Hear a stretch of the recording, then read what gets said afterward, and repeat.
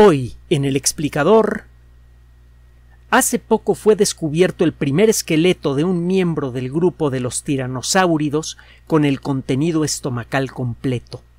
El análisis de este material revela algo inesperado.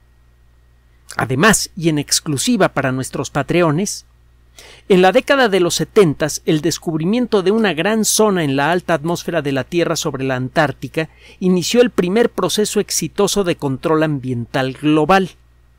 El agujero del ozono comenzó a cerrarse a principios de este siglo, pero un trabajo reciente revela algo inquietante e inesperado. Escuche y descargue nuestros audios en SoundCloud, Patreon, Spotify, iTunes y Amazon Music. Los detalles aparecen en la descripción de este audio. Gracias.